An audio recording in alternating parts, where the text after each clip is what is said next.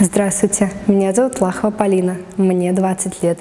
Я являюсь студенткой третьего курса Тверского государственного технического университета на специальности горное дело. Я веду здоровый образ жизни, поэтому в свободное время люблю ходить в спортзал. Также я являюсь добровольцем в добровольческом центре «Добротех». Я мечтаю стать моделью, а также научиться играть на гитаре. Я пришла на конкурс, чтобы доказать, что любая девушка из небольшого города, как я, может стать участницей. Главное — стремление. Также прославить свой любимый и родной город Осташков. В связи с конкурсом помогать окружающим или нуждающимся людям и быть полезной обществу.